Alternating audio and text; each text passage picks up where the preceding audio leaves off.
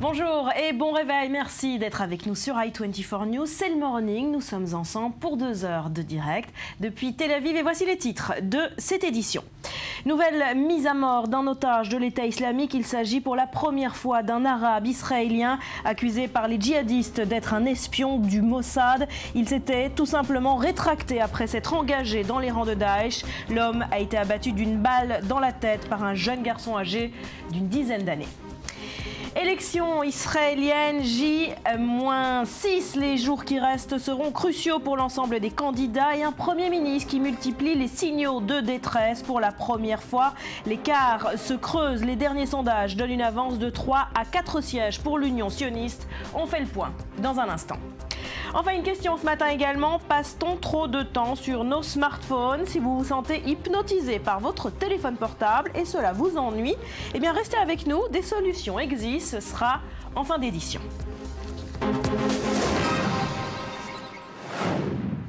Merci d'être avec nous et on démarre donc par cette nouvelle mise en scène macabre de l'État islamique. L'organisation terroriste a diffusé hier soir une vidéo montrant, selon elle, l'exécution par un jeune garçon d'un arabe israélien accusé d'espionner pour le compte euh, du Mossad, les services secrets israéliens, djihadistes s'exprimant en français. Vous allez le voir dans un instant, menace de s'en prendre aux Israéliens après avoir évoqué euh, la récente attaque ayant euh, visé les Juifs de France. Écoutez.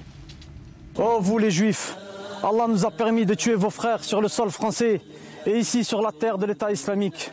Les jeunes lions du califat vont tuer ce que le Mossad imbécile a envoyé pour espionner les mujahidines et les musulmans. Un sale espion apostat et Allah a retourné votre ruse contre vous. Bientôt vous verrez l'armée du califat attaquer vos terres et vos citadelles et libérer Beit el-Maqdis de votre impurité par la permission d'Allah. Il le voit bien loin alors que nous le voyons bien proche. Ô Juifs, ceux qui vous ont donné Beit el-Maqdis ont dit les croisades sont finies. Aujourd'hui, nous vous disons, les conquêtes islamiques viennent de commencer. Les Juifs tremblent car la promesse est proche. Mathias Inbar, euh, merci d'être avec nous. Pourquoi euh, ce djihadiste s'exprime en français? Il y a John euh, djihadiste qui s'exprime en, en, anglais. On, on, le sait, il est d'origine koweïtienne et maintenant en français, tout simplement parce que Al-Qaïda avait revendiqué les attentats, en tout cas des frères Kouachi, Al-Qaïda euh, au Yémen, et euh, Koulibaly avait revendiqué, en tout cas se revendiquer de l'État islamique euh, lorsqu'il a euh, attaqué l'hypercachère de, de, de, Paris. Et donc là, c'est important parce que ils se savent traquer, les francophones, il y a moins d'une semaine, on a eu une information confidentielle qui est sortie en tout cas dans les, euh, dans, dans, les tuyaux, dans les canaux, selon lesquels la France a reçu l'ordre, en tout cas les services secrets français ont reçu l'ordre de la part de François Hollande d'opérer contre les francophones qui souhaiteraient revenir en France et de les tuer avant qu'ils ne reviennent en France. Au moins 2 4-4 ont été euh, touchés par des services secrets français la semaine dernière. Et là, ce n'est pas pour rien euh, que ce, cette personne s'exprime en français, parce qu'il y a une euh, volonté claire de la part de l'État islamique de s'en prendre à la France et parmi les Français, parmi les aux juifs francophones. Ensuite, mmh. vous l'avez entendu, il va, ça, il va peut-être dans un autre extrait, il va menacer directement euh, Israël. Cette personne n'est pas une personne prise au hasard par les responsables de l'État islamique, ce n'est que le beau-frère de Mohamed Merah auteur des, euh, des tueries de, de, Toulouse. Donc il y a toute une sorte de, de, scénario, de mise en scène de la part de l'État islamique pour faire, pour faire peur. Reste à savoir, est-ce que le message est accepté et pris? Mmh. Est-ce que cette peur est entendue? Ouais. Elle, est, Alors, elle est plus risible que macabre, malheureusement, on, une, on connaît une question euh, maintenant sur l'otage, euh, le jeune homme qu'on voit en orange sur cette image, qui sera apparemment exécuté, selon cette vidéo, d'une balle dans la tête à la fin euh, de, de, ce discours. Euh, il est accusé euh, par Daesh d'être un agent du Mossad. Sa famille euh, a démenti. Sa famille a, a démenti. Juste un, un point sur le, le, le, petit de 12 ans qui tire une balle dans la tête ouais. de, ce, de cet espion-là. Ce n'est pas la première fois non plus que Daesh euh, réalise ce type de, de, scénario. La semaine dernière, les deux otages euh, russes accusé d'espionnage, avait été également abattu par un, gamin, un gamin de, 12 ans à peine. Revenons sur cet espion-là. J'ai parlé tout à l'heure, en venant ici au studio, à l'un des frères euh, de Mohamed Salam Saïd, son grand frère, et, qui déclare d'ailleurs que Mohamed n'était pas, euh, absolument pas, au départ en tout cas, un homme radical. C'est un homme, euh, c'est un Israélien, ce n'est pas un, Palestinien habitant de Jérusalem. Il n'habitait pas, la famille n'habitait pas à Jérusalem-Est, mais bien dans un quartier euh, totalement israélien, juif israélien de Neve Yaakov. C'est un gamin de, à 18 ans, il avait, fait, il avait fait partie du service national. Il avait décidé de ne pas faire, il ne pouvait pas faire l'armée en fonction des pressions familiales, mais en tout cas, il avait fait son service national auprès des services de pompiers de la ville de, Jérusalem. Mm-hmm. Il a été radicalisé part sur Internet, il est parti en direction de la Syrie via la Turquie, et euh, là-bas, effectivement, euh, euh, on lui a collé sur le dos ce costume d'agent du Mossad. Maintenant, sa famille, effectivement, nie en bloc toute appartenance au Mossad. Et il dit, le Mossad, de toute façon, n'aurait pas recruté un homme de 19 ans à, ce point qui méconnaît, qui méconnaît la situation. C'est la première fois que Daesh s'en prend aussi directement à Israël? Oui.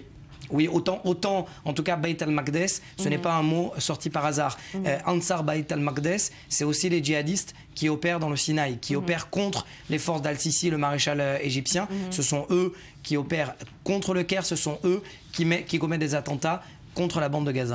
Merci beaucoup euh, Mathias pour ces explications. Maurice, je me tourne vers vous hein, parce qu'on passe en revue euh, les grands journaux euh, arabes et israéliens ce matin. Il est évidemment question de l'État islamique et on démarre par le Jerusalem Post. Oui, le Jerusalem Post qui met en, exergue cette déclaration. L'État islamique s'inspire du sionisme, une déclaration qui ne vient pas moins que de Rajib Za'atara, le porte-parole de la liste arabe unifiée. Elle a été prononcée hier devant un panel électoral à l'université de Bar-Ilan.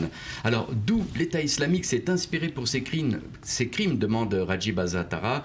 Regardez ce que le mouvement sioniste a fait en 1948 viols, pillages, meurtres, massacres qui ont été accomplis dans notre région. Et l'intéressé d'ajouter le Hamas n'est pas une organisation terroriste, c'est une faction légitime du peuple palestinien. Alors, face au tollé, la réaction de la liste arabe unifiée s'est pas fait attendre. Ces propos ont été prononcés, ont-ils dit, suite aux provocations d'un des membres du panel qui avait affirmé que Daesh s'est inspiré des membres de la liste arabe unifiée. Aujourd'hui, il va y avoir une réunion d'urgence des membres de la liste arabe unifiée pour éviter des dérapages de ce genre au cours de la dernière semaine de la campagne. Voilà, et dans le Jordan Times, il est toujours question de djihadisme, cette fois euh, dans la bouche du roi Abdallah lui-même. Oui, une, déclaration assez intéressante du roi Abdallah de Jordanie, euh, prononcée hier euh, au cours d'un discours à Strasbourg devant les parlementaires européens. Alors, le souverain hachémite a déclaré que la lutte contre le terrorisme ne devait être, devait être menée en premier lieu lieu par les États musulmans parce qu'il s'agit d'une menace contre l'islam. Il y a ceux qui vivent aujourd'hui en Europe qui se souviennent des ravages qui ont frappé le continent à la fin des années 30, une référence au nazisme et la guerre mondiale qui a suivi.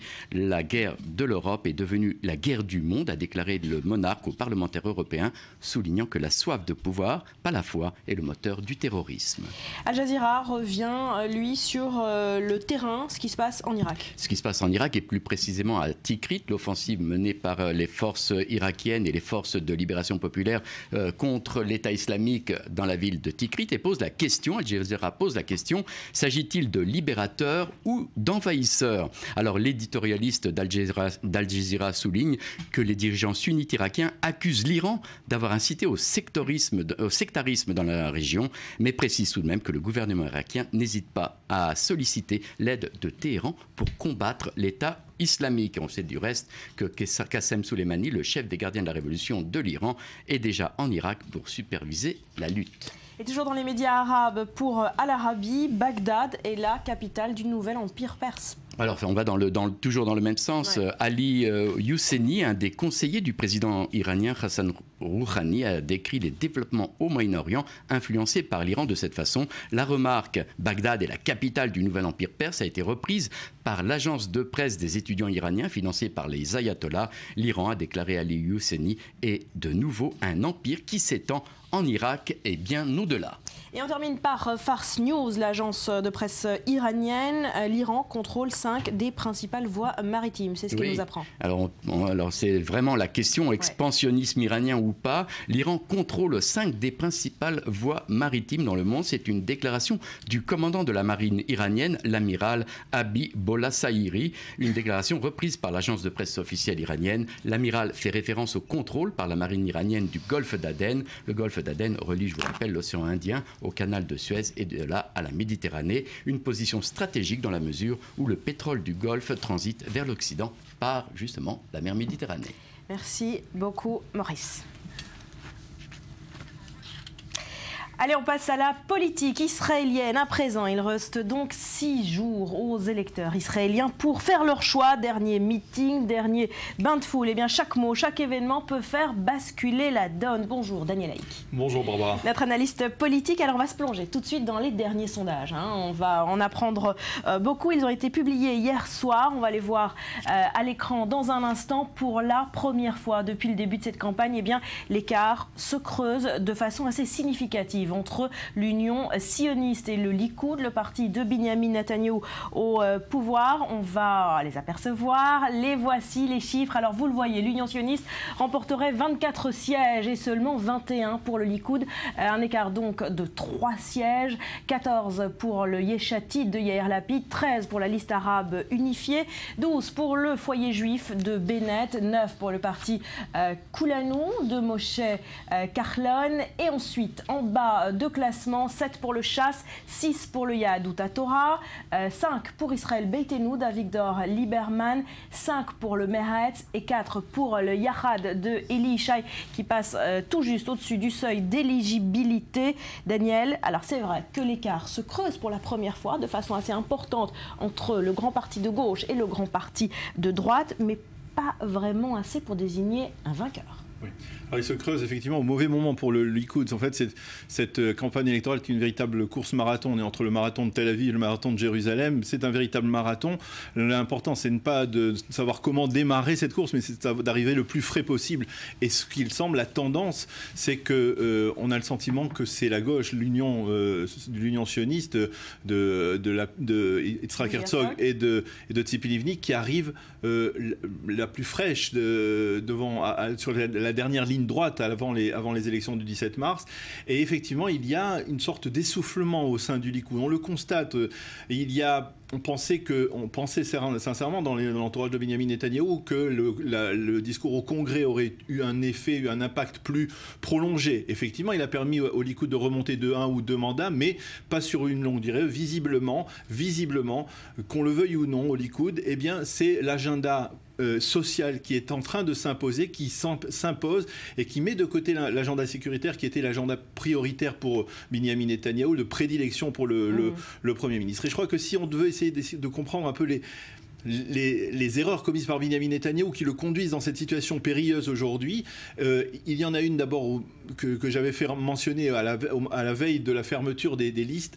L'idée, l'idée principale, Benjamin Netanyahu à ce moment-là aurait dû pactiser avec le parti de Karlon parce qu'on va voir que ce parti est le parti déterminant. Il sera la formation déterminante. Aujourd'hui, si on fait le parti Koulanou de Karlon emporterait 9 sièges, il va être le faiseur de roi il de va, cette il, il va être le faiseur de roi si l'on fait un calcul rapide entre, selon tous les sondages, si on fait un calcul rapide de ceux qui vont recommander Herzog ou de ceux qui vont recommander Benjamin Netanyahu, on arrive quasiment à une parité. 56 d'un côté, 56 de l'autre, selon le sondage de la Knesset, 57 euh, de 58 de, selon le sondage de la, de, la seconde chaîne de télévision. Et c'est Moshe Karlon qui fera la différence. Si Moshe Karlon et, euh, si Benjamin Netanyahu parvient à séduire Moshe Karlon, alors il aura un gouvernement, un gouvernement on va dire, plus ou moins stable avec 63-62 mandats. Euh, si euh, c'est plutôt euh, Yitzhak Herzog qui, le, qui, le, qui, arrive à le convaincre, eh bien, il aura un, gouvernement minoritaire parce que les partis arabes ne rentreront pas,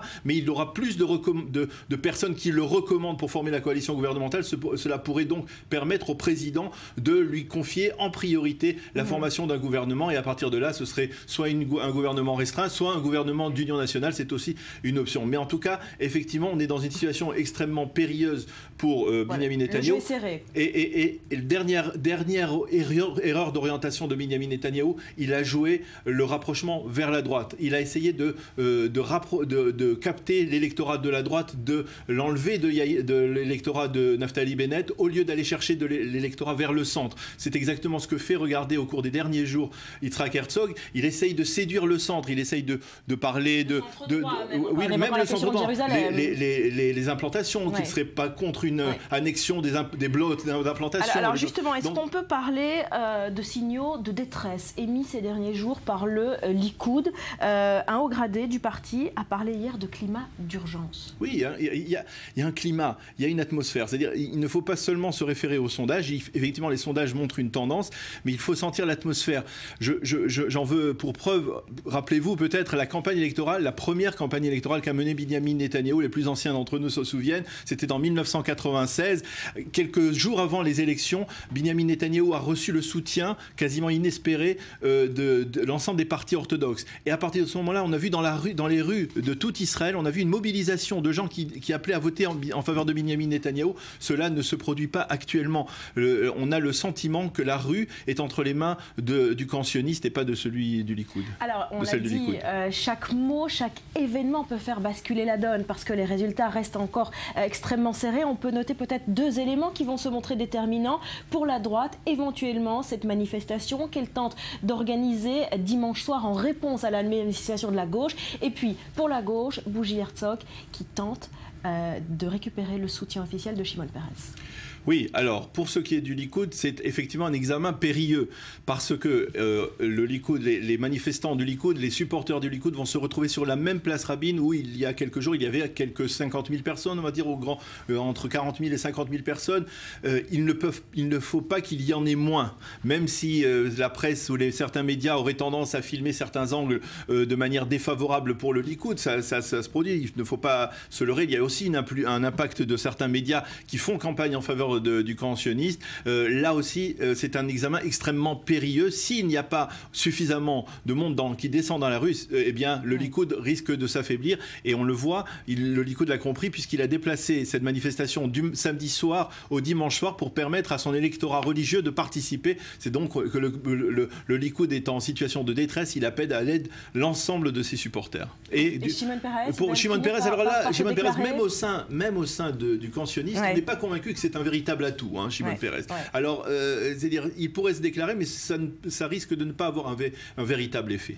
Alors, on, le disait, hein, le vent pourrait donc être en train euh, de tourner en faveur de la gauche, une gauche qui a basé euh, sa campagne sur un slogan tout sauf Bibi. Et derrière cette campagne, on en parle depuis le début de cette élection, une organisation baptisée le V15. Alors, qui sont-ils? Léa Berdugo a mené l'enquête.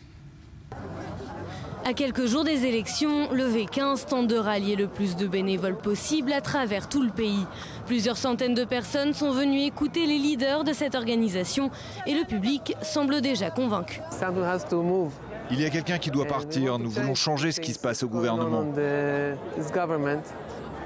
Ce n'est pas un problème de parti politique, c'est un problème humain. Donc nous sommes venus écouter ce qu'ils proposent pour voir si nous pouvons aider. Le but de cette organisation, remplacer coûte que coûte Benjamin Netanyahou, mais les membres du V15 mettent un point d'honneur à ne pas appeler à voter pour un parti en particulier. Alors comment convaincre les Israéliens d'agir concrètement pour que le Premier ministre ne soit pas réélu? Nimrod Dweck, cofondateur du V15, livre ses arguments. En général, je leur demande s'ils veulent remplacer le gouvernement. S'ils disent oui ou je ne suis pas sûr, alors je raconte mon histoire personnelle.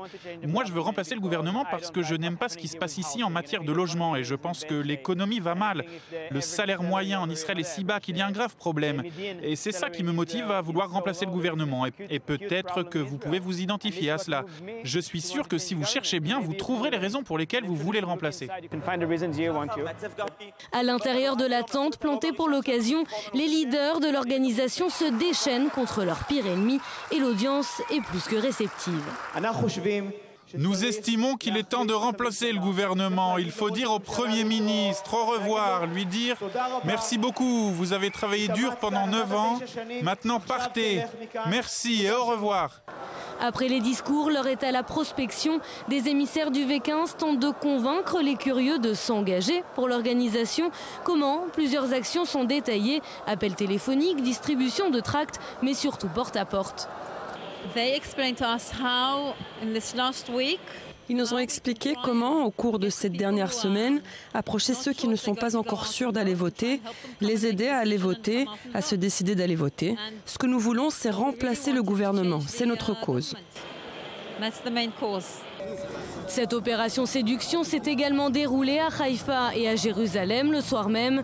Tous les arguments pour convaincre les Israéliens ont été déployés.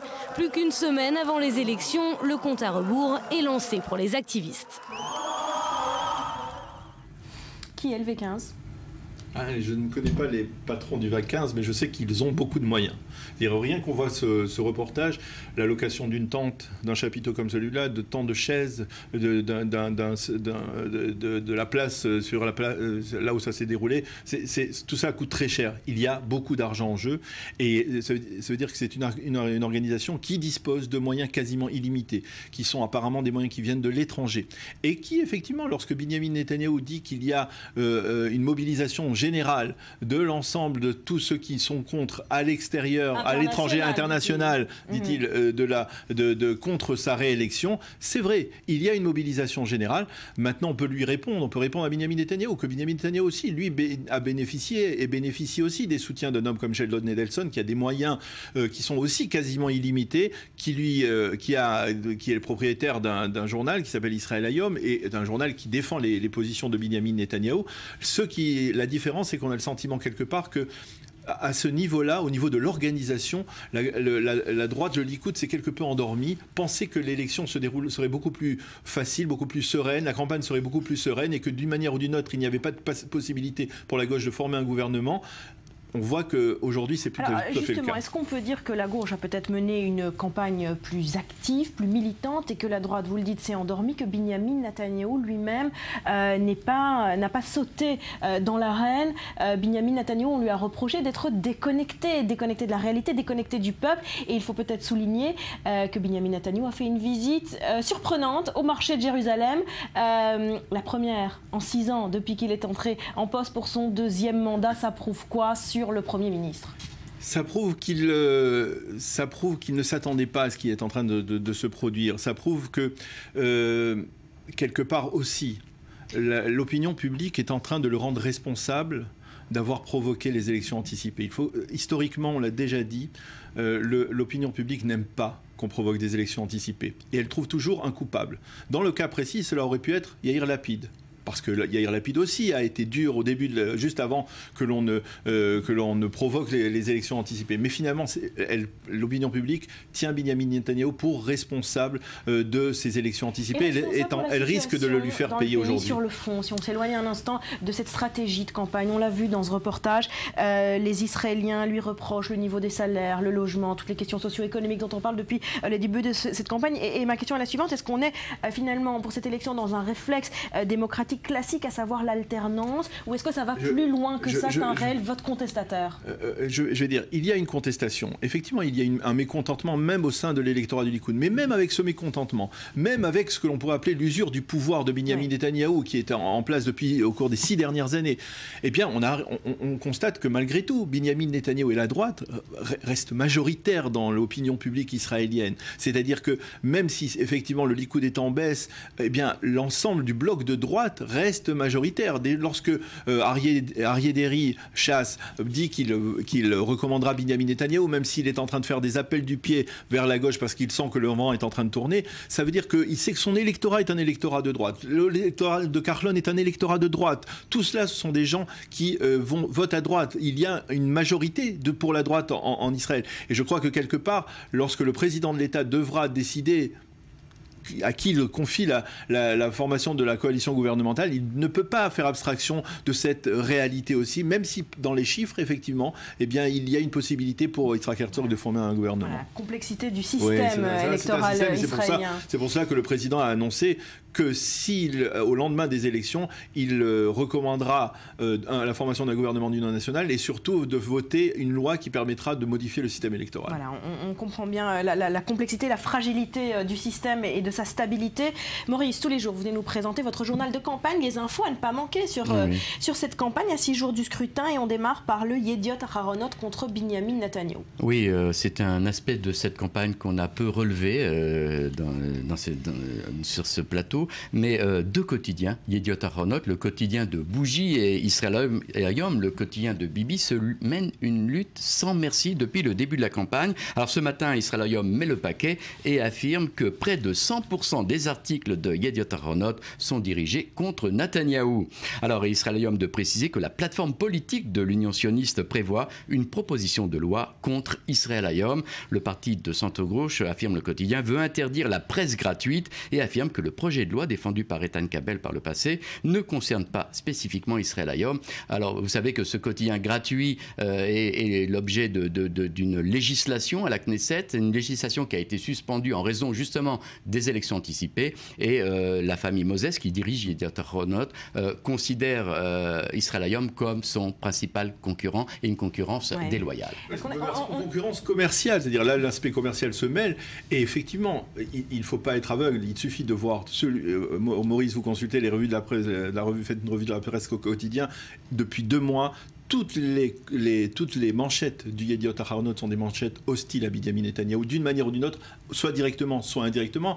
Et, euh, et c'est idem pour le, le, principal site d'information israélien, le Ynet, qui, euh, on, l'ouvre, on, on, tombe sur une catastrophe. On a l'impression que ce pays vit de catastrophe en catastrophe. Bon, ce n'est pas, la, ce pas la réalité. Et si Israël Ayom existe aujourd'hui, c'est parce que quelque part, dans l'opinion dans publique, on a trouvé que quelque part, cette presse israélienne, certains de ces organes de presse exagérée envers Benjamin Netanyahu.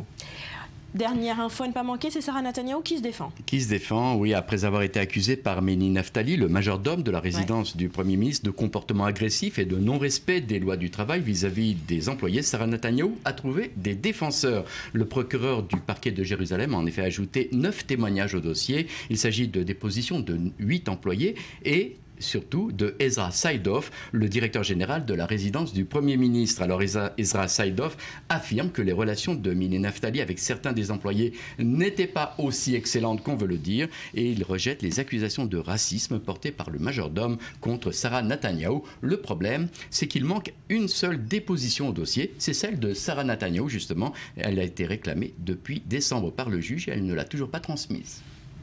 Non, je voulais juste rajouter un peu de complexité dans ce pays qui est tellement clair.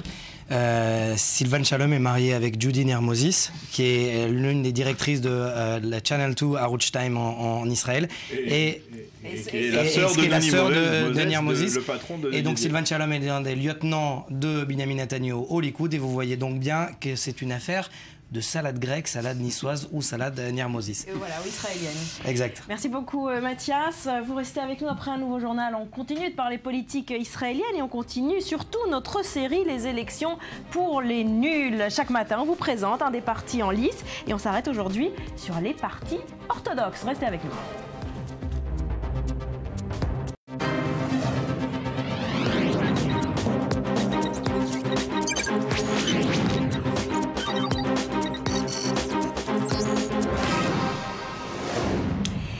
Donc six jours aux Israéliens pour faire leur choix mardi prochain. Ils sont donc appelés aux urnes pour euh, constituer un nouveau euh, Parlement et on poursuit notre série, Rudy, les élections pour les nuls, parce que chaque matin, vous venez nous présenter euh, un des partis en lice pour qu'on comprenne un petit peu mieux qui va constituer cette Knesset. Et on s'arrête ce matin sur les partis orthodoxes. Daniel, vous êtes avec nous pour en discuter également. Oui, alors c'est ce qu'on appelle des partis c'est-à-dire qu'ils sont censés euh, représenter une certaine population. Et là, on parle de la population euh, ultra-orthodoxe. Il faut savoir que c'est à peu près un million de personnes sur 8 euh, millions d'habitants. C'est un sixième des juifs du pays. Alors, ça va aussi parfois au-delà de la population ultra-orthodoxe, car il y a à l'intérieur des, décisions entre Ashkenaz et Sepharad. En tout cas, c'est très compliqué. J'ai essayé, essayé, de vous expliquer ça dans le reportage.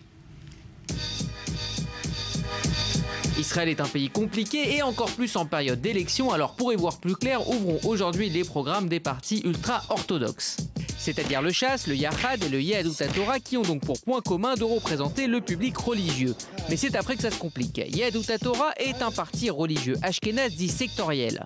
C'est-à-dire qu'il représente sa communauté, se bat pour les crédits de ses écoles talmudiques et s'arrête là. Le chasse, incarné par le sulfureux Ariéderi, est lui aussi un parti religieux mais séfarade créé dans les années 80 par le grand rabbin Ovadia Yosef pour contrer l'influence des Ashkénazes dans le monde religieux. Quant à Yahad, c'est une branche toute nouvelle et dissidente du chasse encore plus à droite. Mais intéressons-nous enfin au programme. Côté Yadut Torah, on veut prier et appliquer la loi juive, point. En jouant la carte de la fierté séfarade, le chasse a lui attiré au fur et à mesure des années un public non religieux et populaire. Logique donc de voir la pauvreté au centre de sa campagne dans laquelle Ariéderi, condamné dans le passé pour des pots de vin, évoque les transparents, ce que l'on ne voit jamais. Côté société, on se réfère à la Torah et à la halacha, la loi juive, pour trancher les questions qui fâchent. Exit donc le mariage homosexuel ou encore les bus et les commerces le jour du Shabbat. Quant à l'égalité homme-femme, le message est clair, sachant que sur ces trois listes religieuses, aucune femme n'est présente. Dernier aspect, celui du conflit israélo-palestinien, et là aussi, c'est compliqué. On s'est dans le passé référé à la loi juive et on a du côté du chasse été prêt à des concessions si cela pouvait sauver des vies. Mais devant un électorat de plus en plus nationaliste, le ton se durcit, même si on préfère éviter le sujet.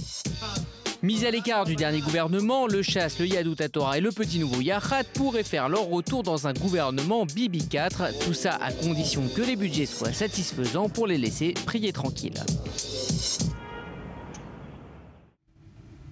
Daniel, est-ce qu'on peut dire que ce sont euh, des partis qui assurent leur pérennité finalement d'élection en élection parce que la population orthodoxe vote pour les partis orthodoxes? Alors oui, avec une réserve, parce qu'il faut faire une distinction entre le parti du judaïsme de la Torah unifié et le parti euh, chasse séfarade. Le parti ashkénaze du judaïsme de la Torah, oui, est un parti stable euh, qui est, que l'on peut positionner au centre de l'échiquier politique israélien, même si euh, l'essentiel de son électorat qui est un électorat qui s'implique de plus en plus dans la vie de la, de la, de la société israélienne, même si c'est l'essentiel. Pour l'essentiel, ce sont des élèves de yeshivot, mais ce sont des gens aussi qui rentrent sur le marché du travail de plus en plus mmh. euh, massivement. Euh, euh, cet électorat est plus on va dire, plus, traditionnellement plus à droite. Mmh. Par, pour, pour, ce qui est du parti chasse, c'est tout, tout, à fait différent. Et en, en, fait, une dernière précision, le parti orthodoxe ashkénaze est un parti composé uniquement d'un électorat orthodoxe. Hein. Euh, par contre, le parti chasse est un, un parti qui est composé d'un électorat euh, euh, euh mitigé, c'est-à-dire il y a effectivement des séfarades orthodoxes qui ont étudié dans des grandes yeshivas, souvent dans des yeshivas des instituts talmudiques ashkénazes, et il y a aussi un électorat traditionnel qui est un électorat plus sioniste euh, et aussi plus à droite. C'est un électorat qui avait quitté le parti sioniste religieux, le, le parti national religieux, le, le PNR, pardon, euh, il y a de cela 20 ans, et qui n'est jamais revenu et qui est resté fidèle à ce parti chasse, même si euh, le parti chasse est par, peut parfois être, euh, mettre certains écarts par rapport à l'État à d'Israël, ouais. mais c'est un, un parti qui est, on va dire, plus proche de l'État d'Israël, qui ouais. est à l'intérieur du gouvernement de l'État d'Israël, qui a siégé dans plusieurs gouvernements,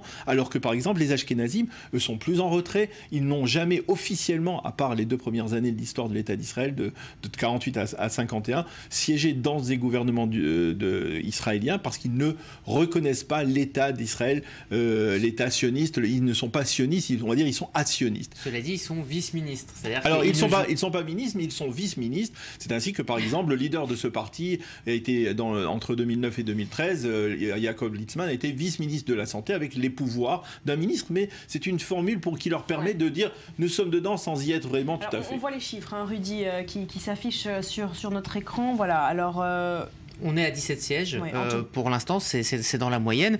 Euh, c'est vrai que dans le futur, c'est une, une, une, base électorale qui peut, euh, qui peut grandir puisque la population, euh, proportionnellement à la population religieuse, est en augmentation en Israël. Mm -hmm. Donc, c'est des partis qui ont une base solide et qui, en plus, euh, c'est ce qu'on expliquait pour le, le chasse, euh, vont au-delà de leur électorat orthodoxe. orthodoxe. Alors, 17 sièges en tout pour les trois partis. C'est un bloc. Alors, justement, alors, là aussi, nuance. Euh, si vous dites dans les partis orthodoxes que Yahad est un parti orthodoxe, ouais. c'est pas tout à fait vrai. Ils diront que c'est pas vrai. Bon. Euh, en tout cas, si ce n'est pas 17, ce sera 12 pour ce le sera parti. En tout cas 12, 13, 14. 13, 14. Euh, c'est un bloc. C'est un bloc. Et, c'est un bloc qui a une parti, volonté. Ce sont deux partis qui se font courtiser, il faut le dire, Daniel, par la droite Et par la gauche. Par la droite et par la gauche. Historiquement, historiquement, les partis orthodoxes n'ont, euh, pendant les premières 30 premières années, à part, je vous dis, les deux premières années, n'ont pas siégé dans les gouvernements de gauche, euh, de la gauche israélienne. Ils ne sont arrivés dans les gouvernements, on va dire dans les coalitions, que lorsque Menachem Begin est devenu Premier ministre en 1977. C'est à partir de ce moment-là qu'on a assisté à un développement de, même de, de, financement des, des, instituts talmudiques des élèves de Yeshivot par le gouvernement de Menachem Begin à cause de millions et de dizaines de millions de, de shekels. Ça, c'était à l'époque. Maintenant, effectivement, la tendance comme je le disais, est tendance, plus à droite. Mais il y a un élément important. Depuis deux ans, ces deux partis, le parti chasse et le parti de la, du, judaïsme de la Torah, sont des partis qui sont dans l'opposition. Or, ce ne sont, ces partis ne peuvent pas rester trop longtemps dans l'opposition. Il faut qu'ils aient un, un impact, il faut qu'ils aient un accès aussi à certains budgets pour défendre leur propre public, même si je le précise aujourd'hui, de par l'ouverture, une certaine ouverture limitée de, ces partis euh, orthodoxes, et en particulier euh, le parti chasse est ouvert vers la cité, mais le parti orthodoxe ashkénaze s'ouvre un peu plus vers la cité, avec, euh, comme je vous le disais, Litzman à, la santé, qui a fait du bon travail en tant que ministre de la Santé, eh bien, effectivement, ils, ont besoin de rentrer dans le gouvernement pour, avoir... On peut dire que naturellement, ils pencheraient plutôt vers la droite, et il y a une coalition avec Benjamin Netanyahu mais, les appelle, mais si Herzog les appelle et leur dit j'ai la capacité de former un gouvernement d'union nationale avec vous, euh, ils pourraient remplacer par exemple les 13 mandats des partis arabes qui, eux, ne rentreront pas dans un gouvernement de gauche. Daniel, on s'attarde un instant sur une des réformes phares du gouvernement sortant qui visait précisément ce public orthodoxe. Il s'agit du service militaire obligatoire euh, pour tous. Vous le savez, depuis la création de l'État, hein, euh, les orthodoxes en étaient dispensés et on est allé poser la question aux Israéliens. Les orthodoxes doivent-ils ou non s'engager dans les rangs de Tsahal Réponse au micro de Betsabe Salem. אני חושב שהחרדים צריכים להשתלב בצבא. אני לא חושב שהצבא צריך להשתנות בשביל החרדים, אני חושב שהחרדים צריכים לעשות, לשאת בחלק מהנטל של המדינה. חרדים צריכים להשתלב בחברה, והצבא אה, הוא איזושהי אה, מקפצה להשתלבות בחברה, אה, אבל אני חושבת שאם הם לא רוצים להשתלב, והם גם יכולים מאוד לשנות את הצבא, שזה בעייתי, צריך למצוא תוכניות אחרות לשלב אותם בחברה. כולם צריכים לשאת בנטל.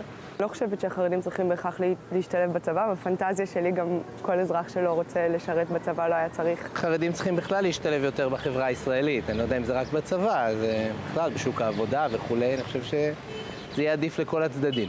Israël euh, a besoin de tout le monde et je pense que pour la sécurité de tout le monde, euh, je ne vois pas pourquoi les uns euh, devraient euh, risquer leur vie et d'autres pas. אני חושב שצריך להיות שוויון בהכל. אני חושבת ש... שצריך לחשוב על, על האופנים שבהם החיים של החרדים כאן יהיו מעורבים, משולבים, וגם גם עבורם, להעצים אותם, וגם עבור החברה, למצוא איך נעשה שיתוף פעולה.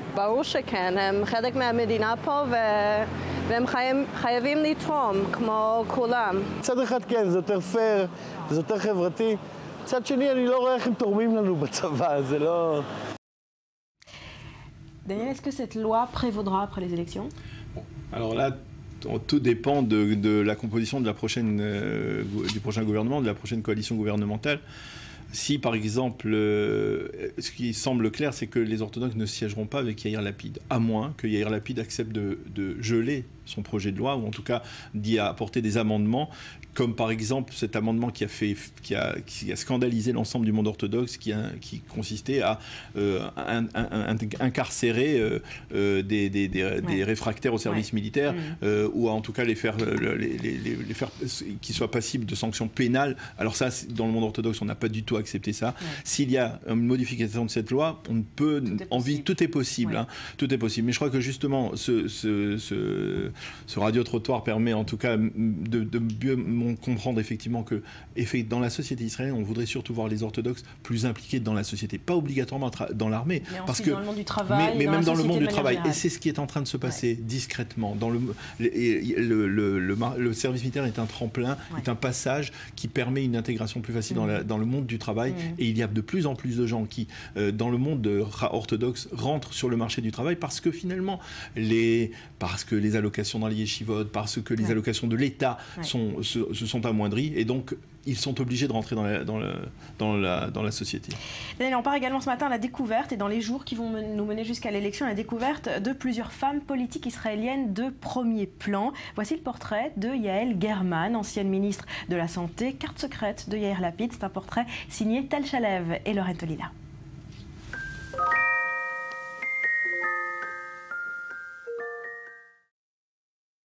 שלום, שמי יעל גרמן, בתם של בנימין ואדלה ארנר, אחותה של זהבה קניספל, רעייתו של בעלי האהוב אוסיקה יוסי, אימא לאייל, גיא ולילך, וסבתא לאיתן, דורון, נטע ונוגה. במשך 15 שנים כיהנתי כראש עיריית הרצליה, ומשם עברתי לפוליטיקה הארצית, והייתי בשנה ושמונה חודשים האחרונים שרת הבריאות.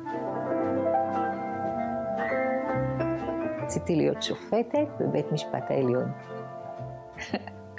כשהייתי בת 18, סיימתי איתה את, את התיכון, אז מאוד רציתי ללכת ללמוד משפטים, אבל אז אחותי ואימי לקחו אותי לשיחה מאוד פמיניסטית, במרכאות כפולות, ואמרו לי, תראי, היה לי אז כבר חבר, בעלי, את בקרוב תינשאי ויהיו לך ילדים, ואת חייבת מקצוע שתוכלי לחזור הביתה בצהריים כדי לעשות אוכל לילדים ולטפל בבעלך.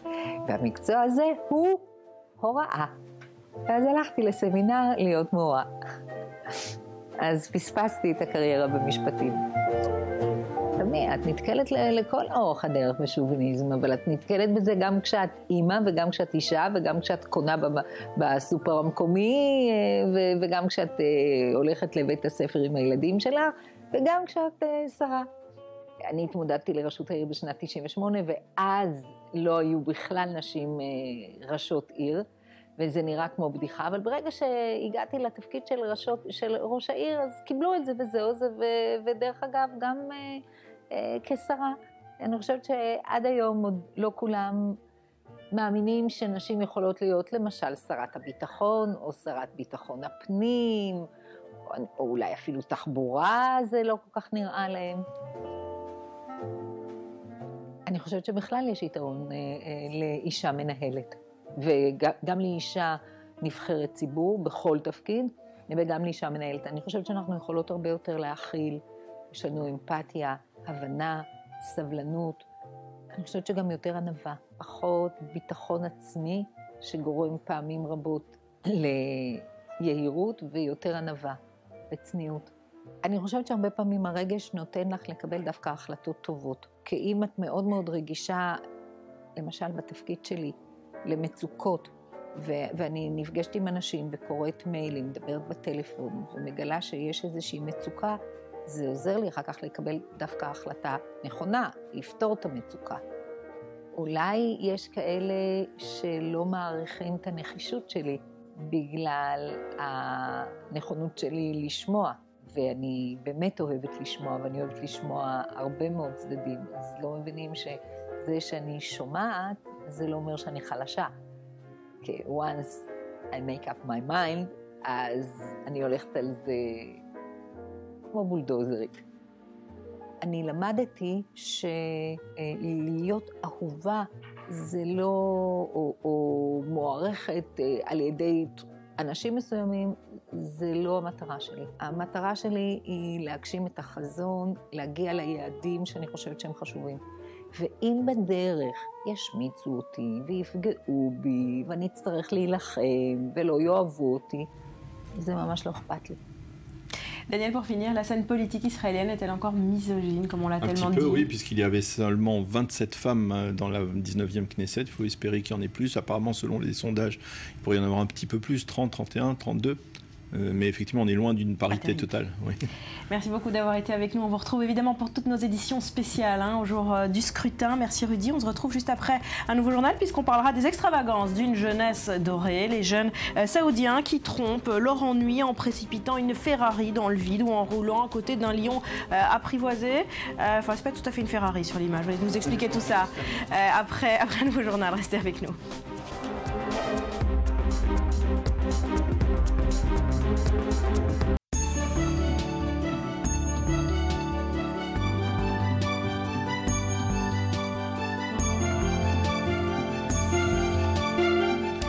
Merci d'être avec nous sur le plateau du Morning. On revient à présent sur ce terrible accident d'hélicoptère survenu hier en Argentine. Bilan, vous le savez, 10 morts, parmi lesquels 8 Français, dont 3 champions olympiques. Leur disparition a provoqué évidemment une vive émotion en France et dans le monde du sport en particulier.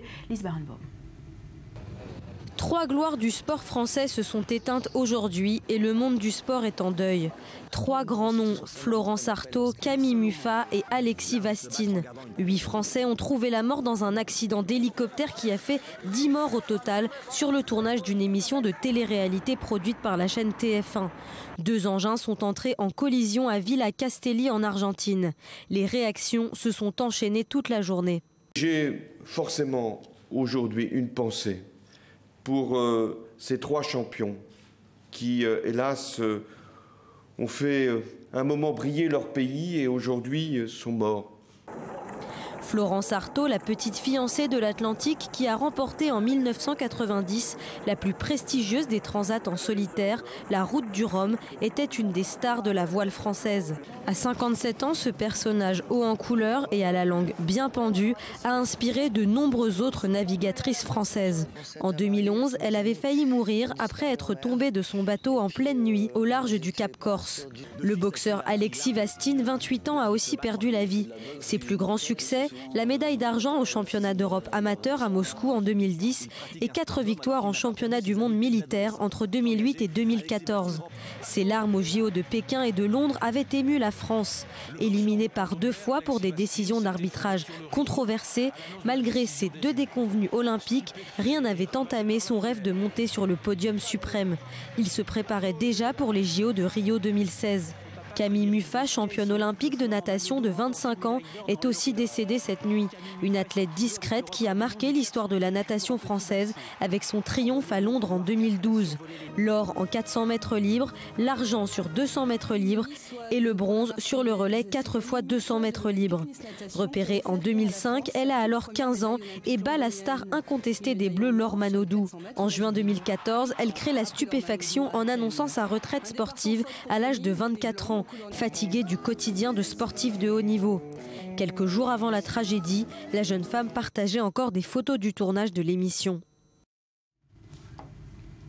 Établi ce matin, l'accident a fait la une de tous les médias français. Ouais, alors après euh, le choc hier, euh, donc euh, de cette mort de trois grands sportifs français, eh bien aujourd'hui c'est l'incompréhension qui plane encore et occupe une large partie de la presse française avec cette question du journal Le Monde pourquoi les champions se prêtent-ils aux jeux de télé-réalité Puisqu'avant Artaud, Muffat et Vastine, eh bien de nombreux sportifs avaient déjà cédé aux sirènes de cette télé-réalité. Exemple la patineuse Surya Bonelli, hein, qui avait participé à la ferme célébrité, la judoka Frédéric Jossinet, qui avait participé à Colanta, et la liste d'exemples est euh, très longue. Alors, cette dernière, Jossinet explique au monde, justement, eh bien, les sportifs peuvent être attirés euh, par l'aspect financier, la notoriété, l'adrénaline. Surya Bonelli explique de son côté que ces jeux de télé-réalité permettent aux sportifs de sortir un petit peu de leur quotidien de sportif qui n'est pas facile. Mais la question aujourd'hui, c'est aussi la télé-réalité survivra-t-elle à ce crash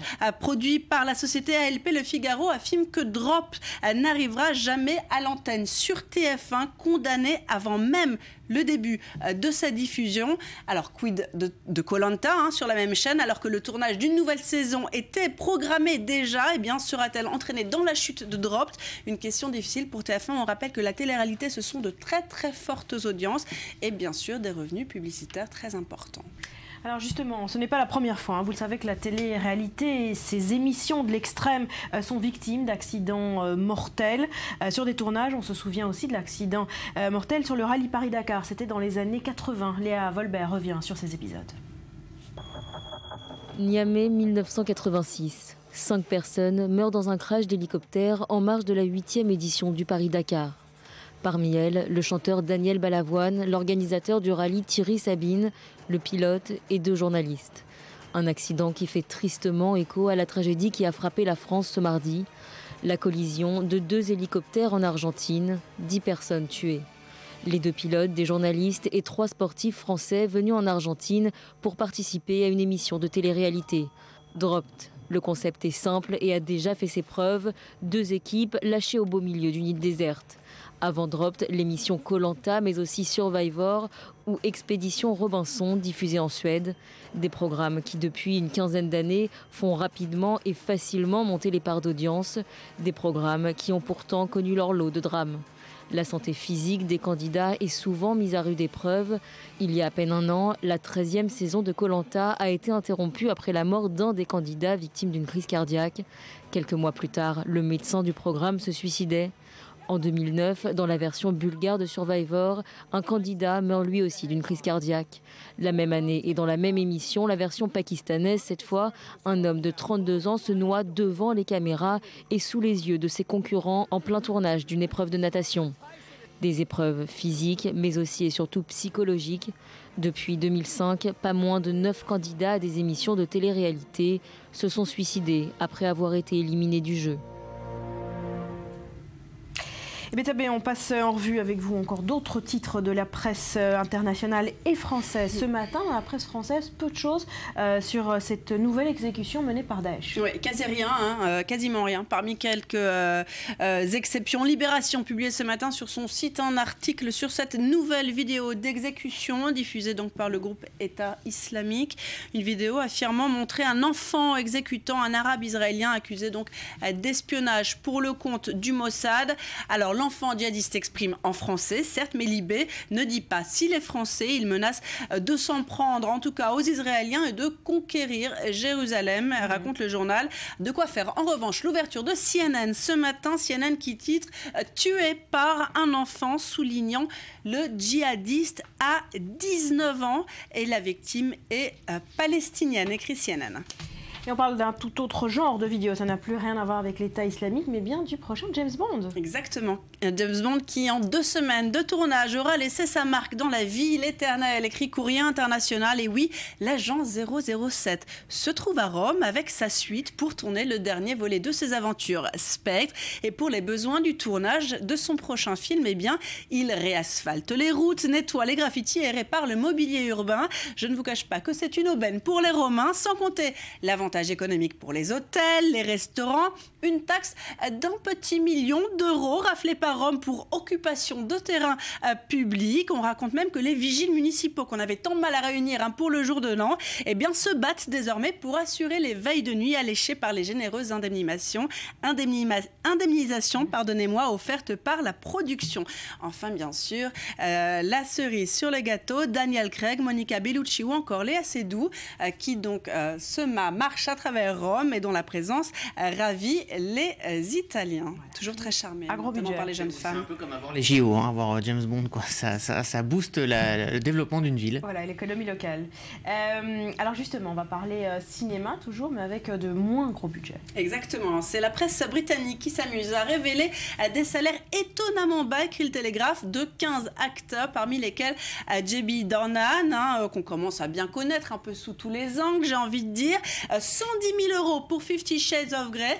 C'est extrêmement peu. Alors, à en croire le Télégraphe, il touchera quand même plus au numéro suivant, puisque vous savez, ça ne s'arrête euh, pas là. Un temps, la plus grande star ado, Lindsay Lohan, a touché 6 000 euros seulement pour The Canyons. Lohan qui s'est quand même vu euh, offrir la somme de 2 millions d'euros quelques temps après pour un reality show.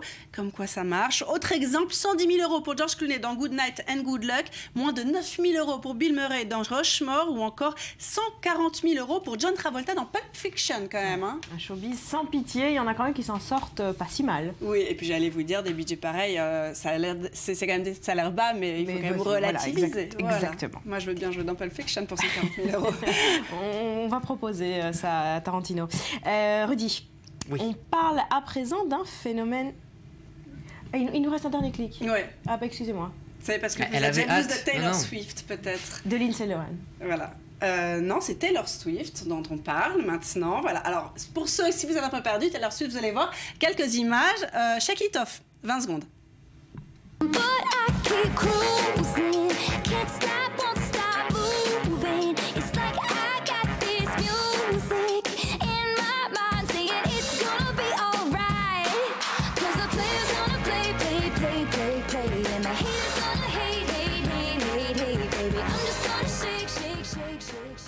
Alors, les les, je- les jambes de cette jeune femme eh bien, valent désormais 40 millions de dollars, 37 millions d'euros. Je ne sais pas si vous pensez que ça en vaut la peine, Rudy. de Pulp Fiction.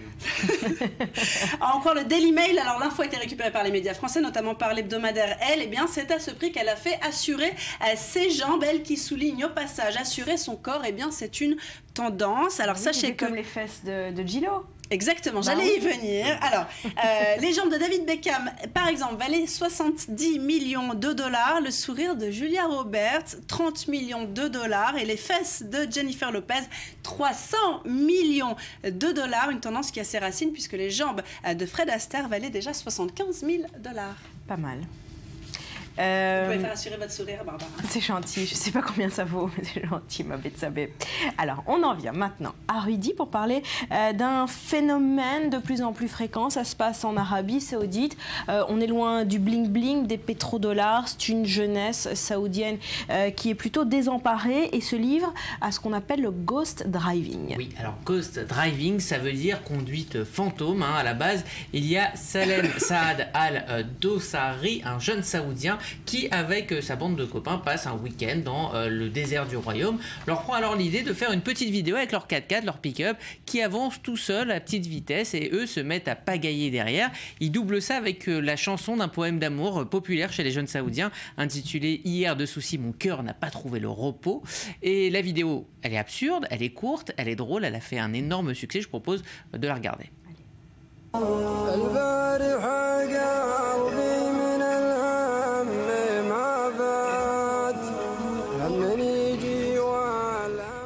Ça marche, ça marche. euh, Vous trouvez ça drôle Expliquez-nous le, co- le- le- le principe. Bah, le, le principe, c'est simplement de, il n'y a pas de chauffeur et on met la, voiture. Voilà, c'est absurde. Alors à partir de là, la vidéo devient euh, virale sous un hashtag du nom de la chanson et après des dizaines de Saoudiens imitent Salem et ses amis. Euh, certaines vidéos vont dépasser les 100 000 vues et chacun euh, propose sa propre déclinaison du Ghost Driving. Je vous propose une autre version.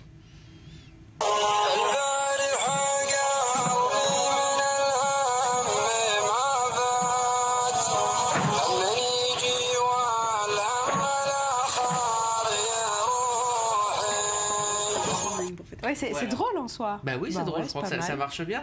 En tout cas, jusque-là, il n'y a rien euh, de méchant. La, télé saoudienne consacre alors un reportage à ces jeunes en disant, je cite euh, Courrier International, euh, que euh, dans, dans ce reportage, en fait, un, un haut dignitaire dit que les jeunes saoudiens qui n'ont pas trouvé d'autres moyens pour exprimer leur mal-être. Ça, c'est ce qui est dit dans le reportage. Et à partir de là, une polémique va partir. Alors, une polémique qui va fâcher les autorités saoudiennes qui reprochent quoi à ces jeunes finalement? Alors, on reproche à ces jeunes de donner une sorte de mauvaise image euh, du royaume, un pays euh, qu'on connaît sous l'angle habituellement du luxe, des euh, buildings, des grosses montres. Or là, on voit des pick-up, pas forcément luxueux, des zones désertiques, et c'est vrai que on sent que l'humour et l'ironie sont présentes dans ces vidéos. Alors, le journal Alt Koweïtia, rapporte que des dignitaires saoudiens disent que euh, on n'est pas contre le fait de rire, hein, je cite, mais les auteurs de ces vidéos exagèrent, ils ne savent pas ce qu'ils font, ils nuisent à l'identité saoudienne. En tout cas, ils disent c'est comme avec des drogues qui se répandent, il faut être plus sévère et mettre un terme à ces vidéos.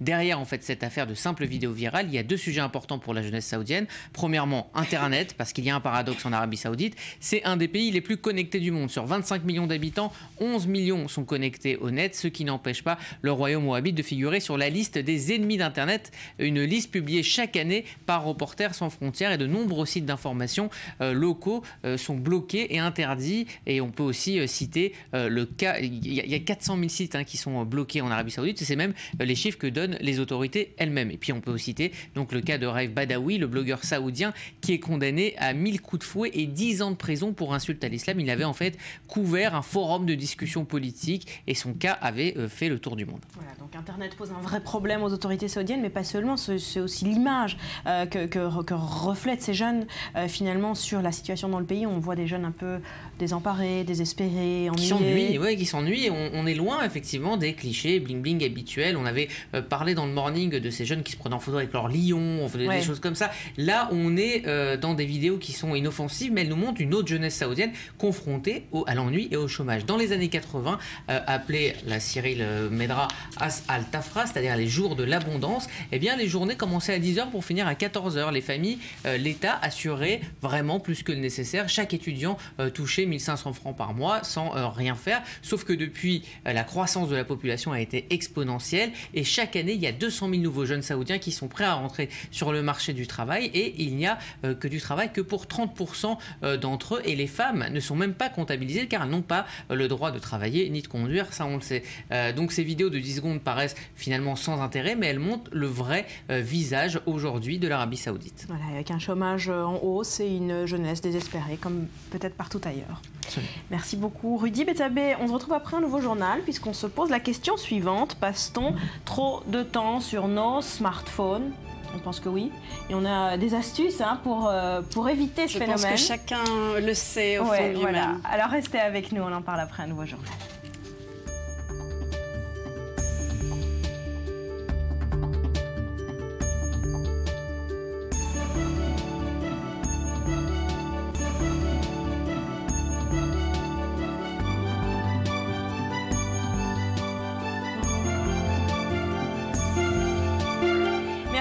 Avec sur le plateau du Morning. On va tenter euh, dans un instant avec vous de Betsabé de passer moins de temps sur nos smartphones. Ça va être notre mission du jour. Bonne chance. Mais avant cela, on parle cinéma. Laetitia, bonjour. Et vous êtes avec nous pour euh, nous présenter les dernières révélations sur le prochain Woody Allen. Oui, bah, finalement, il y en a tous les ans hein, des révélations sur Ouais. les euh, prochains Woody Allen. C'est vrai qu'il anticipe euh, toujours, c'est un bourreau de travail. Euh, il ne semble pas vouloir laisser passer une seule année sans faire un nouveau film. Et le réalisateur prépare déjà le casting de l'après Un homme irrationnel, qui est le nouveau film qu'on attend euh, cet été avec Joaquin Phoenix et Emma Stone, et euh, qui sortira donc voilà cet été aux États-Unis. Deadline nous révèle aujourd'hui eh bien, que Bruce Willis, Kristen Stewart et Jesse Eisenberg ont accepté de jouer dans le prochain long métrage de Woody Allen, qui n'a pas encore de nom ou de scénario. C'est toujours euh, le cas en général avec les films casting. Pour l'instant, on n'a que le casting. C'est toujours, c'est toujours comme ça que Ouais. ça se passe. hein. Un petit peu plus tard, on va nous révéler de quoi il s'agit, où ça va être euh, tourné. Euh, comme c'est souvent le cas avec le cinéaste, les acteurs ont signé à l'aveugle euh, et attendent encore le script de cette comédie qui va sortir en 2016 au cinéma. Il s'agit du premier Woody Allen pour Bruce Willis et Kristen Stewart, mais Jesse Eisenberg, on l'a déjà vu dans le fameux To Rome with Love. Stewart et Eisenberg ont par ailleurs tous les deux déjà joué ensemble dans Adver- Adventureland et on va les retrouver encore réunis dans American Ultrade de Nima Nourizadeh. Alors, c'est une révélation sur, sur le Woody Allen qui est prévu dans deux ans parce que le prochain, en fait, n'est pas encore sorti. Le prochain n'est pas sorti. Alors, celui dont de celui-là? Alors, ce qu'on sait, on a déjà des images du tournage. hein. C'est donc un film euh, avec Emma Stone et Joaquin Phoenix. On le sait depuis mai 2014. Euh, le titre n'avait pas encore euh, été dévoilé. Là, juste, voilà, Irrational Men vient d'être dévoilé comme titre. C'est un long métrage beaucoup moins léger que Magic in the Moonlight, puisque c'est l'histoire devrait, selon quelques fuites, euh, se dérouler sur un campus universitaire où la relation entre un professeur, Joaquin Phoenix, et son élève Emma Stone, va tourner au drame. Évidemment, on est dans un euh, Woody Allen. Euh, donc, on imagine que Irrational Man, dont on voit quelques images euh, ici avec Joaquin Phoenix et Emma Stone, sera plus dans la veine de Match Point. Euh, et c'est l'été dernier qu'on a découvert donc ces premières photos. Donc, on s'attend à des premières photos de Jesse Eisenberg, Bruce Willis ou encore Kristen Stewart, ben, juste à la, suite de la sortie de celui-ci. Est-ce qu'on peut dire qu'Emma Stone, c'est la nouvelle coqueluche de Woody Allen, sa nouvelle muse? Bah, Ça fait deux films hein, qu'elle fait euh, avec euh, le cinéaste Emma Stone. C'était un petit peu aussi le cas déjà de la sulfureuse euh, Scarlett Johansson. C'est cette nouvelle génération euh, de muses de Woody Allen. Vous me parliez tout à l'heure hors caméra euh, de ces euh, euh, muses originales, mythiques, d'Anne Keaton pour, pour Annie Hall. C'est vrai que ou Meryl Streep euh, avec euh, Manhattan. C'est vrai que là, depuis sa période, on va dire, euh, New York, c'était la période euh, années 70, là on est passé dans une, la période euro- euh, européenne euh, de Woody Allen où on retrouve euh, des actrices extrêmement sulfureuses, euh, beaucoup plus euh, sex- euh, d'une sexualité beaucoup plus Affirmée. euh, affirmée. Euh, même après le, le travail avec euh, même Penelope Cruz. D'ailleurs, on, on va revenir sur cette euh, Scarlett Johansson qui a tout de même marqué un point, un, un tournant, tournant, hein. euh, dans le cinéma de Woody Allen et notamment une scène, c'était dans Match Point. On regarde ça en image. Toi, tu vas très bien te débrouiller. Si tu gâches pas tout. Et comment je pourrais faire ça? En me draguant, par exemple. Qu'est-ce qui te fait croire que ça va arriver? Ben, les hommes l'envisagent toujours. Ils croient qu'avec moi, ça pourrait être très spécial. Et ça l'est? Ma personne n'a jamais exigé de remboursement. Où était toute cette confiance en toi pendant ton audition?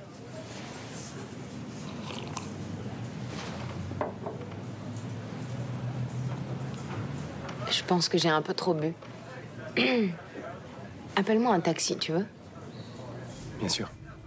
Ah, une Scarlett Johansson torride hein, dans Point. Très torride, il faut dire quand même que Scarlett Johansson en version originale, c'est quand même beaucoup mieux. Elle a une voix extrêmement grave et extrêmement euh, Sexy. euh, dans sa version euh, originale. Penelope Cruz, dont je parlais tout à l'heure, dans Vicky Cristina aussi, qui a marqué euh, véritablement un autre tournant euh, du cinéaste avec, euh, dans ses relations avec les actrices euh, européennes. C'était, euh, elle a gagné un Oscar d'ailleurs euh, pour ça. C'était avec euh, Ra- euh, euh, Evan Rachel Wood euh, et Scarlett Johansson dans Vicky Cristina Barcelona aux côtés du fabuleux Javier Bardem pour ne pas déplaire aux demoiselles quand même. On va se rappeler aussi en image de ce fameux euh, Vicky Cristina Barcelona. tanto perderse, tanto buscarse, sin encontrarse.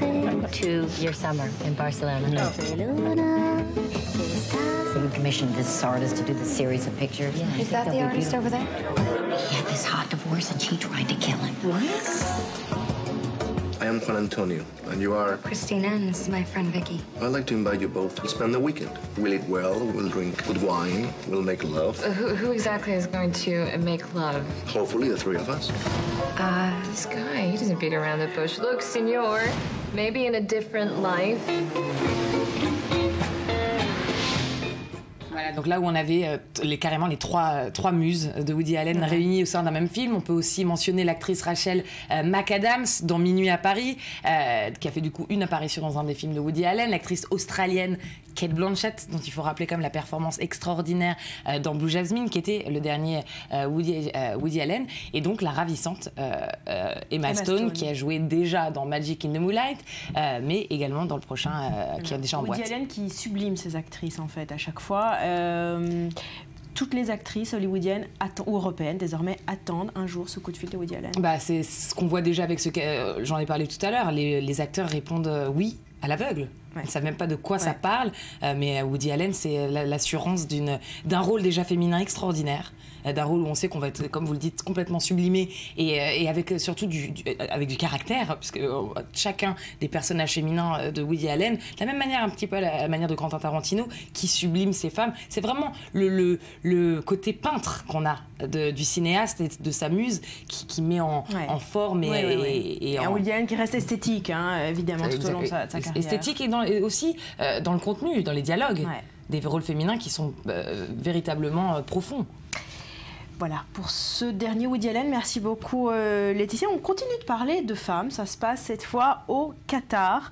Euh, de plus en plus de femmes qataries ont pu se lancer ces dernières années dans les affaires, encouragées euh, officiellement par un programme gouvernemental, et ce, en dépit du conservatisme religieux et familial qui règne dans le pays. Au Qatar, un programme de nationalisation de l'emploi garantit un travail et des salaires plus élevés à tous les Qataris, hommes et femmes. Il leur simplifie aussi les démarches pour créer leur entreprise.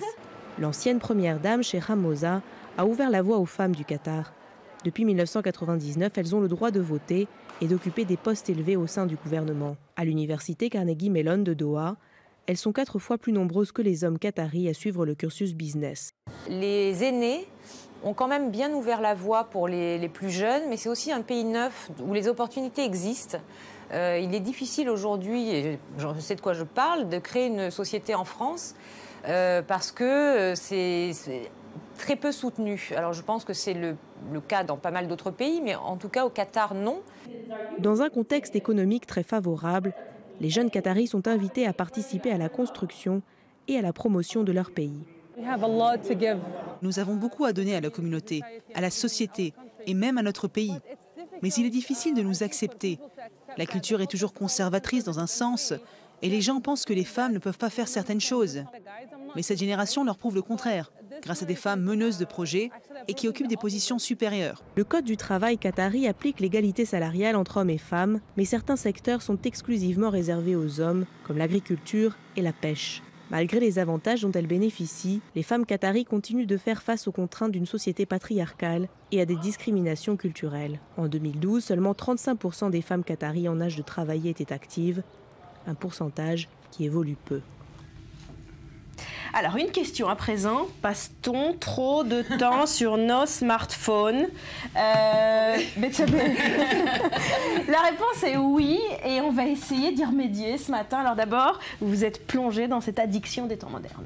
Oui, alors qui porte même un nom. hein. Là, par exemple, nomophobie, contraction de no mobile phobia, ce nouveau mal symptomatique euh, de la génération 2.0. Euh, Laetitia a beaucoup de mal à poser son téléphone. Alors, je suis sûre que vous voyez ce dont je veux parler. Blague à part, vous avez sans doute quelqu'un de votre entourage, si c'est pas plusieurs personnes qui ont sans arrêt euh, la tête euh, dans leur euh, smartphone, euh, qui sortent leur portable toutes les 3 minutes pour le vérifier ou qui ont constamment la tête euh, plongée dans un écran en train de suivre des réseaux sociaux. Alors sachez qu'on parle réellement de euh, toxicomanie sans drogue, d'une euh, dépendance. Mais alors à quoi? Eh bien non pas à l'objet lui-même, mais à l'autre en fait que le téléphone représente par le biais d'Internet et des réseaux sociaux, des sites de rencontres, etc. Or, eh bien, cette attraction, elle est d'autant plus importante qu'aujourd'hui, son smartphone permet une illusion euh, d'avoir euh, quelqu'un à proximité, vraiment à portée de main, puisqu'on peut garder son smartphone à côté de soi sans discontinuité. Mais en plus, ces téléphones à dimension tactile que vous tripotez comme ça, et c'est là où c'est différent des conversations téléphoniques, eh bien, ça permet aux personnes de s'approprier l'image en la touchant et de combler ainsi une angoisse de euh, séparation. On se sent moins seul, quoi. En fait. Vous vous sentez moins seul quand vous êtes sur votre téléphone Euh, Peut-être, ça. C'est une vraie question. j'analyse pas, là. C'est une vraie question.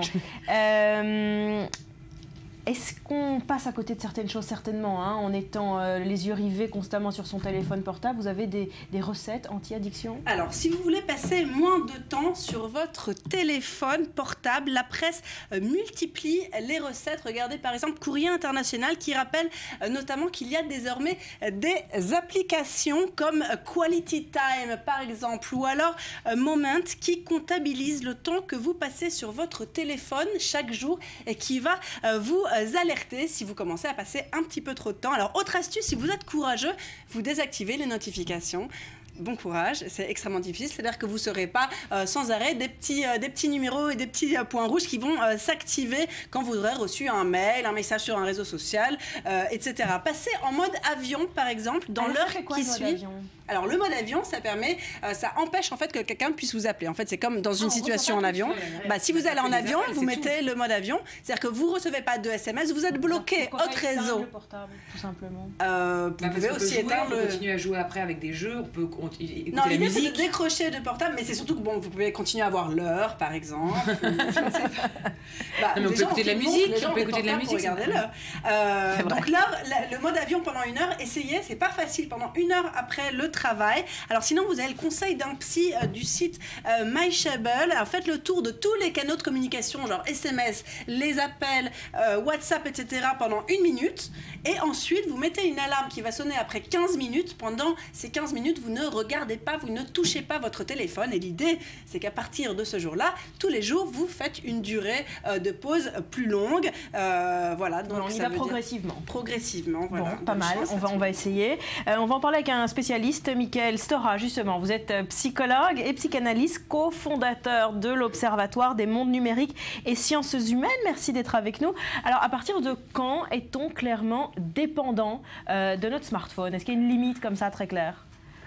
Bah, écoutez, c'est pas forcément en termes de temps. Euh, J'ai plutôt tendance à penser qu'on est euh, avant tout dans les problématiques de rupture des liens sociaux. Alors ça va être euh, évidemment sa famille, mais même au travail. C'est-à-dire qu'au fond, le, le téléphone va permettre d'une certaine manière d'éviter de rentrer en contact avec euh, le réel des autres pour petit à petit euh, euh, ne rester plus que sur son écran, tout en sachant qu'étant donné qu'il est mobile, d'une certaine manière, on peut continuer euh, finalement à être dehors. Mais quelques personnes, les plus de 200 personnes que j'ai pu recevoir à une époque qui étaient dans les vraies dépendances liées au virtuel, en général, restaient chez eux face à un écran et, et souvent dans des mondes persistants, etc.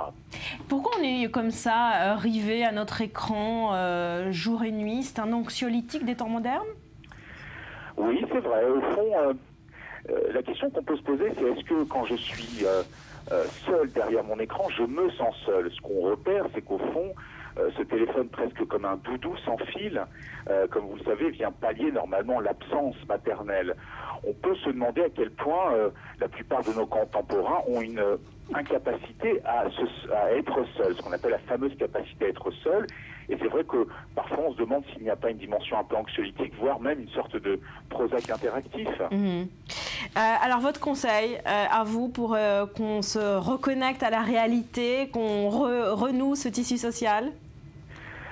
Bah, écoutez, c'est vrai que si on se rend compte que la personne en elle-même, petit à petit, euh, le téléphone va euh, finalement pallier à d'autres problèmes beaucoup plus profonds, évidemment que j'ai tendance à penser que ça peut être un, signe avant-coureur qui fait que la personne devrait se faire aider, donc évidemment par un professionnel. Maintenant, ne, ne cherchons pas à culpabiliser euh, tout un chacun, et euh, il y a quand même des choses aussi bien utiles, voire même totalement inutiles sur ces smartphones, et c'est aussi plutôt agréable. Mais c'est vrai que ça vient révéler peut-être des fragilités narcissiques chez la plupart de nos contemporains, mais j'ai pas forcément des conseils très précis, euh, tout en sachant que j'ai participé à un documentaire où un journaliste a accepté pendant trois mois euh, de ne plus euh, de, de quitter son portable. Ça a été très compliqué pour lui. Et en même temps, c'est tout d'un coup, il s'est rendu compte qu'il pouvait mieux penser les choses, mieux écouter ses enfants. Donc ça peut être intéressant parfois de voir ce que ça donne quand on se- on s'auto-censure. Voilà, on va, alors on va mettre no- notre doudou sans fil de côté, au moins pour quelques minutes aujourd'hui. Michael Stora, merci d'avoir été euh, avec nous. Merci, les filles. Euh, on se retrouve demain. Je vous souhaite de passer une très belle journée. Merci d'avoir été euh, avec nous. Portez-vous bien.